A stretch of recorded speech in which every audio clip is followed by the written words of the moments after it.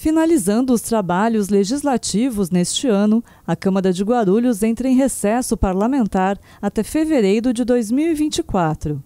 Logo depois da sessão extraordinária que aprovou o orçamento municipal, o presidente da Câmara, Tiziano Americano do Cidadania, fez um balanço de 2023, primeiro ano em que está na presidência da Casa de Leis.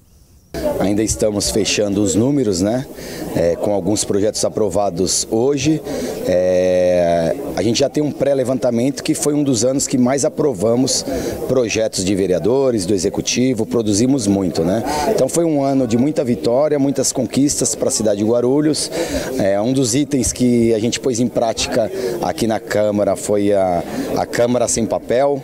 É bastante simples, né? Mas hoje os vereadores podem é, dar andamento nos processos de onde estiver na cidade, né? Antigamente tinha aquela parte burocrática da presença, de imprimir muita documentação, de imprimir muito papel, e isso vai ficando, né? Vai ficando nas gavetas da Câmara Municipal, fora a dificuldade de guardar esses papéis, né? Mas agora com, com essa iniciativa da casa, uma conquista, um, um projeto nosso lá, para a gente, quando a gente assumiu a casa e conseguimos pôr em prática, então é bem, bem gratificante. Além das questões ambientais, né?